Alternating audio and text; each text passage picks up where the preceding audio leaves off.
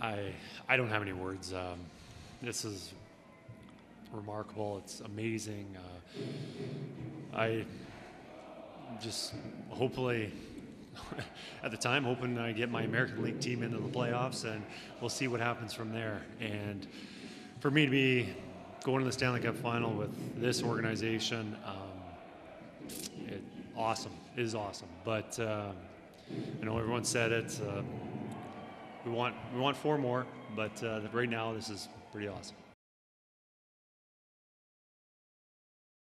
Um, yeah, means a lot, of course. Um, like Connor said, um, a lot of a lot of painful years that we've gone through, and lot, lots of learning uh, along the way. And um, you know, obviously, to, to be able to do it at home, um, and and for this city and for these fans, and um, for for ourselves as well is uh, you know, it's great. It's a great feeling, of course. Uh, that being said, of course, um, you know, we got we got bigger dreams and, and, and bigger goals right now.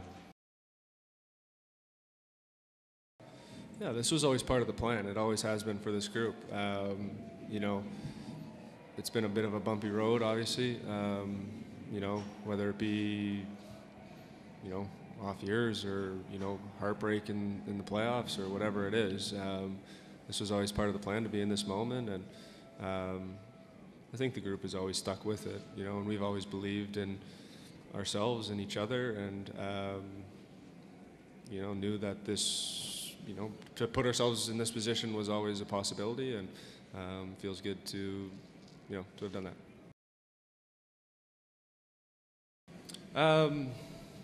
No, um, you know, there's going to be pressure playing in the Stanley Cup final, um, no matter where your team's from. So, um, obviously, we're a Canadian team. We got great Canadian fans, and it feels good to uh, maybe unite the country a little bit um, and have something to to bring people together. You know, that's what sports is all about: is bringing people together, and and uh, and um, you know, hopefully, we're doing that for uh, Canadians across the country.